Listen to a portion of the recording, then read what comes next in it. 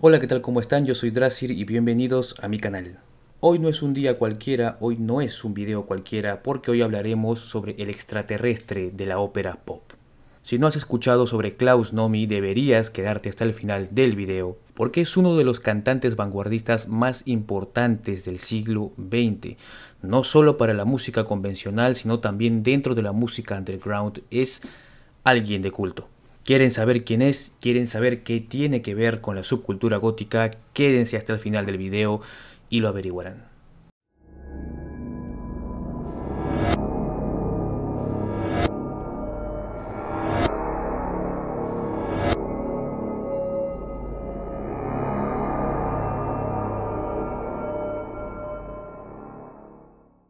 Klaus Nomi.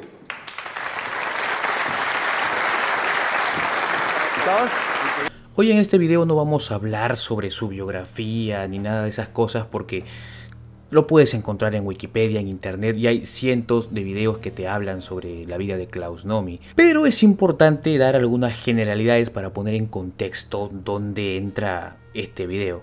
Para empezar, Klaus Nomi tiene el estilo de contratenor. ¿Esto qué significa? ¿Han escuchado un tenor? Bueno, el contratenor tiene la particularidad de cantar con falsete teniendo una voz muy aguda, muy parecido a la de una soprano. Sin embargo, alguien que tiene este estilo de canto, ¿cómo lo mezcla con el synth pop y con la música underground? ¿Se puede? Klaus Sperber, que es su nombre real, nació el 24 de enero de 1944. Es de procedencia alemana, más específicamente de Baviera. Según tengo entendido, su abuela le daba propinas, pero Klaus, en vez de comprarse dulces o algún juguete como un niño común, se compraba discos de música ópera. O sea, imagina ser un niño y comprarte discos de ópera. Eso no pasa. Su artista favorita fue la soprano María Callas y es más, llegó a conocerla en un concierto que ella tuvo. Según lo que cuenta el mismo Nomi, llegó a subirse al escenario y mirarla a los ojos. Por cierto, si no han escuchado a María Callas, deberían. Y de hecho, ella fue su inspiración para que él decida ser cantante. A mediados de los 70, Klaus Nomi se mudó a Nueva York y mientras trabajaba estuvo en clases de canto, lo cual es bastante duro. Yo sé lo que es trabajar y estudiar a la vez. Lo importante es que estando en Nueva York, que es la capital del mundo, seguramente tuvo cientos de oportunidades y mucho acercamiento a tanto el teatro como la música. Y según leí, solía cantar para el personal de limpieza en el teatro donde él trabajaba. Pero sus inicios como artista fueron en una compañía de teatro donde ganó cierta notoriedad por ser extravagante. Ya tenía un estilo vocal bastante peculiar y si a esto le sumamos cierto estilo que ya estaba adoptando, seguramente sí mm, causó mucha, mucha impresión. Sin embargo, el punto de inflexión de su popularidad fue en 1978, donde haciendo una obra teatral se presentó con un traje ajustado y una capa transparente de plástico, emulando a un extraterrestre o un astronauta o alguien que llega del espacio a la Tierra. Esto fue muy novedoso para la época y le sirvió de mucho para hacerse más conocido. Dicho y hecho, David Bowie oyó sobre este artista nuevo, bastante peculiar, llamado Klaus Nomi. Y él fue a verlo y terminó contratándolo para ser su corista en un programa de televisión. Y de hecho, si lo notan, la ropa que usa Bowie en este programa inspiró después al traje icónico de Klaus Nomi. Como dato adicional y por si no lo sabían, su nombre Nomi viene sobre una tergiversación de la palabra Omni, que era una revista que él leía mucho sobre ciencia ficción, futurismo y extraterrestres.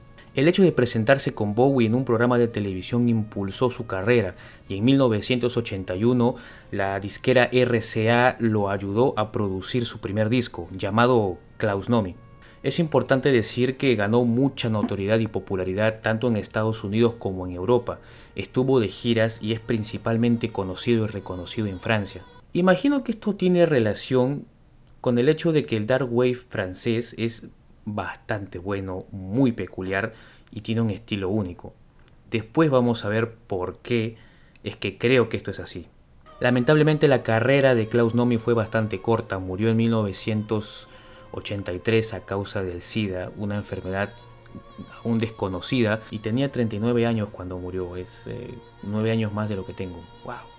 Para finalizar, decir que sus cenizas fueron esparcidas en Nueva York según su propio deseo y me parece la decisión más acertada, fue la ciudad que lo vio nacer como artista.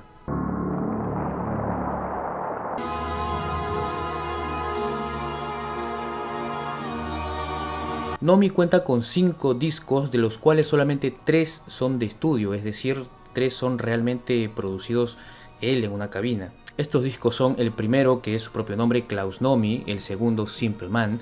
Estos dos son los únicos trabajos, digamos, eh, cronológicamente de la época donde Klaus estaba vivo. El tercer disco es Encore de 1983, ya es el álbum póstumo. El cuarto se llama Klaus Nomi in Concert, es del 86. Y el último es del 2007 llamado Sabak Das.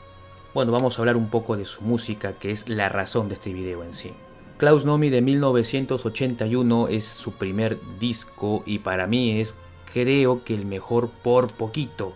El álbum no podría empezar mejor, empieza con un solo instrumental llamado Key of Life, donde hay una mezcla de electrónica y música siniestra. No podía explicarlo cómo, no puedo poner mucho aquí en este video, ya lo saben, pero definitivamente para quienes conocen a Klaus Nomi, este es la mejor intro de presentación para él.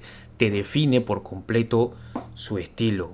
Es genial y de hecho podría escuchar esta intro durante 10 minutos sin cansarme. Es, es espectacular.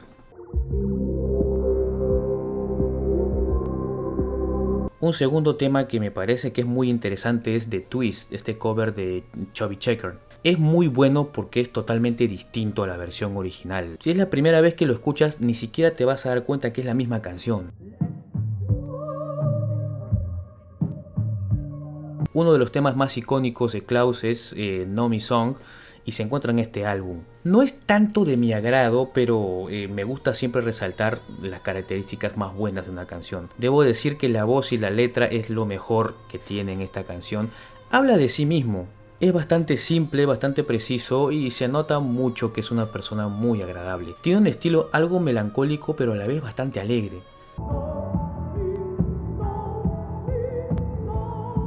Y cómo no hablar de You Don't Own Me, este cover de Leslie Gore, seguramente algunos la han escuchado, es una canción de los 60. En esta versión de Klaus sí es bastante parecida, a diferencia de The Twist, pero incomparable la voz de Klaus.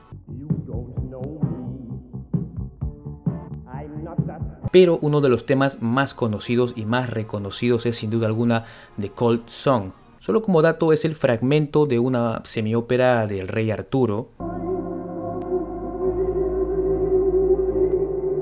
Wasting My Time también es uno de los temas más icónicos de Klaus. Tampoco es tanto de mi agrado, pero sí debo decir que aquí su voz se luce mucho y el estilo es bastante fuerte.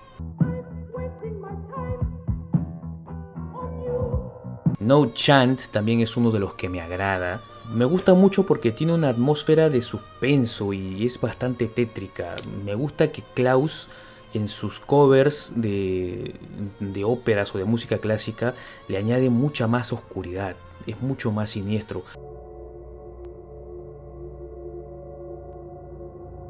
Para terminar con lo que me gusta de este disco tenemos a Samson and Delilah o Samson y Dalila. También es un cover y aquí me gusta mucho por la voz porque tiene un tono de ópera moderna, pero lo más importante es el final.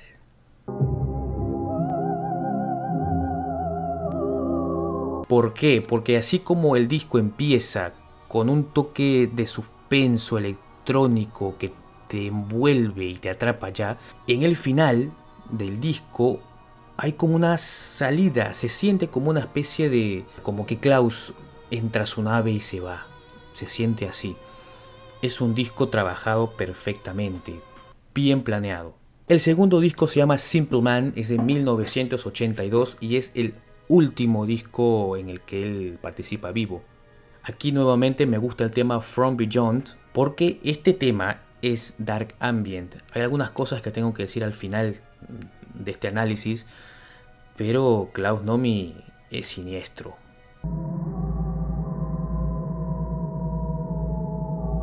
After the Fall también es uno de los temas que más me gustan porque es una canción positiva y de mucha energía. Aquí podemos ver cómo Klaus usa tantos falsetes como una voz grave. Esos cambios son bastante importantes y, le dan mucho más dinamismo a la canción. Eso, eso me encanta. Fallen in Love Again no me agrada mucho, pero es importante resaltar que tiene una mezcla bastante peculiar. Tiene un tono a música disco, pero también a synth pop. Es como el eslabón perdido entre los 70 y los 80. Si lo escuchan se van a dar cuenta de lo que hablo. Ikurok para mí también es una de las canciones más particulares que tiene. ¿Por qué? Porque usa una distorsión de voces para que suene robótica. Es algo que en 1982, y seguro esto fue grabado en el 81, era demasiado vanguardista. Y no sé por qué me recuerda a cierta banda.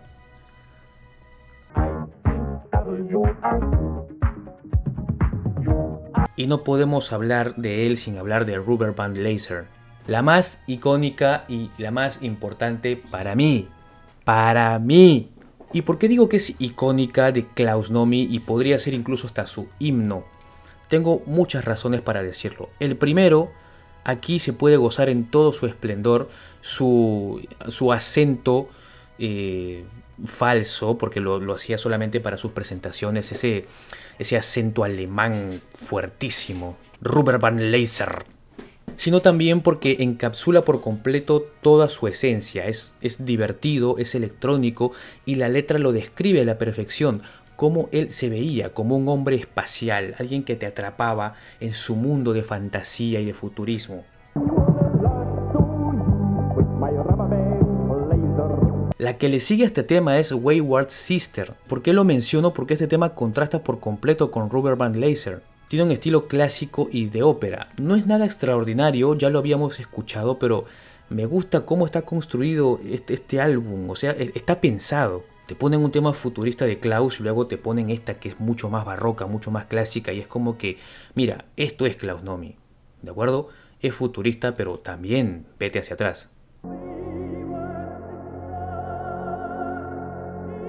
Y no podemos dejar de hablar de Simple Man, otro tema que contrasta con Rubber Band Laser, pero esta vez desde el punto de vista de la letra. Si tú ves la letra de Rubber Band Laser, habla sobre él, pero sobre su personaje. Él es un hombre espacial muy poderoso, muy influyente. Pero en Simple Man habla de la persona. Es una letra que trata sobre su propia humanidad y sobre su simpleza. Que no importa lo que digan, él es un simple hombre y ya está.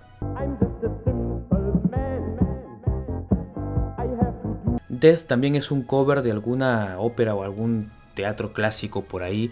Me gusta mucho porque esta sí es música gótica. Escuché la versión original y me suena algo más folk pagano. Tiene ciertos toques así por la instrumentación también. Pero la versión de Klaus eh, tiene todo el toque gótico.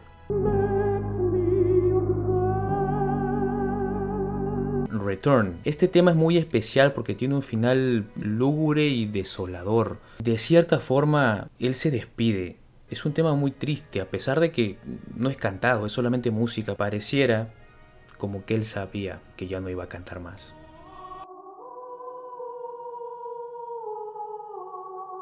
Hasta esta parte del video seguramente ya se han dado cuenta por qué a los góticos les encanta escuchar a Klaus Nomi. No solamente por ser underground y vanguardistas, no solamente por eso, sino también porque ha influenciado mucho a bandas posteriores, tanto dentro de la escena gótica como a, bandas eh, relacionadas con el underground. Klaus tenía el toque siniestro y lo hacía muy bien cuando quería hacerlo.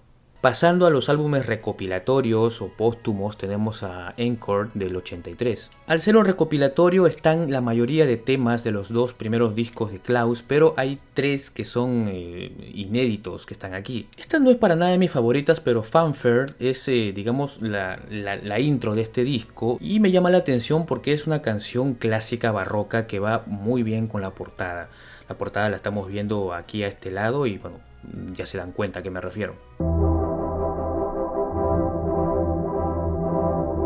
Pero ya yéndonos hacia los otros dos temas inéditos que no están en los otros discos, eh, debo decir que Can't Help Falling in Love es una maravilla, tanto musical como vocal. Der Nussbaum es el último tema inédito, en este disco hay tres temas nuevos, y me gusta por la voz y la melodía. La letra no es la gran cosa, diría que es expresionista y poética, eso es lo que me gustó. Eso es Encore, eh, es un recopilatorio y bueno, estos tres temas es de lo que quería hablar. El cuarto álbum es del 86 y no sé si se llama In Concert o Klaus Nomi In Concert, pero bueno, es el primer y único disco en vivo que tiene Klaus y se grabó en un club nocturno en 1979. Por esa razón la mayoría de los temas son de su primer disco, pero hay cosas importantes que decir. Para empezar, nuevamente nos sorprende con una intro precisa y preciosa, debería decir. Ya está, tú escuchas el intro y sabes que el concierto va a estar bueno, es Klaus Nomi. Importante resaltar el tema Falling in Love Again, aquí lo toca, no hay mucha diferencia excepto por la guitarra. Aquí se siente mucho más poderosa, ¿no? Eh, deja un poquito el tema electrónico y esa guitarra le da el toque más clásico de rock.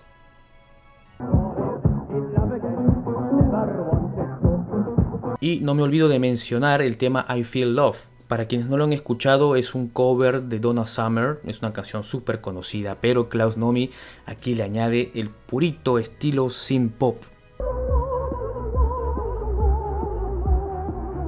Y Das es eh, el último álbum que se ha hecho sobre Klaus Nomi eh, y es, eh, es un disco muy importante, muy experimental y ahora les voy a decir por qué.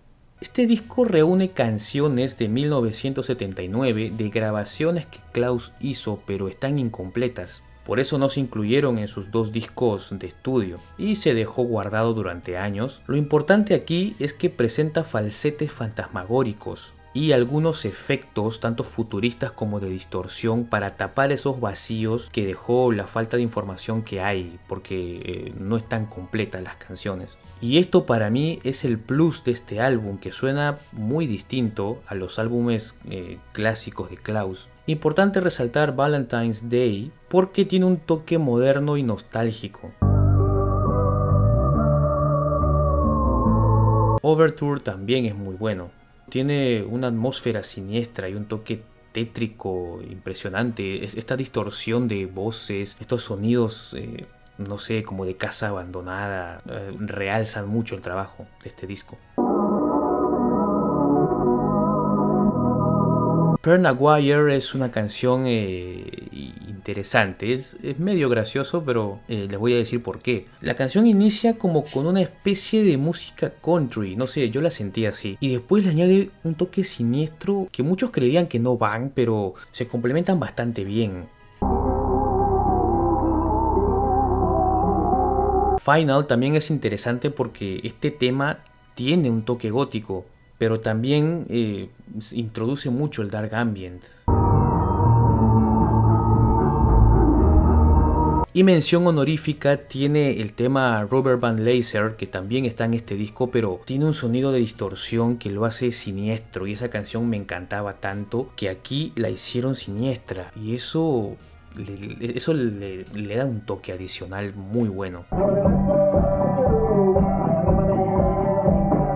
Bueno, este fue mi análisis sobre los temas y los discos y la música de Klaus Nomi, porque la información de su vida la encuentras en internet, pero la información sustancial sobre su música creo que se ha analizado poco. Y espero que haya sido de su agrado eh, poder eh, analizar juntos la música de Klaus. Ahora, iba a decir al final por qué ha sido trascendental en la música gótica, pero la verdad es que ya está de más. Creo que si han escuchado ya su música mientras ven el video se habrán dado cuenta de por qué. Si te gustó el video y si te gustó Klaus Nomi, te invito a escuchar los discos, dejaré los links de todos sus discos en la descripción del video. La próxima semana les mostraré una entrevista que me hicieron, está bastante bueno, eso creo. Gracias por quedarse hasta el final, apóyenme con una suscribida y si ya estás suscrito comparte este y todos mis videos y si ya lo compartiste sígueme en mis redes sociales que me ayudarías muchísimo con eso. Yo soy Drasir y conmigo será hasta la próxima semana tal vez. Gracias.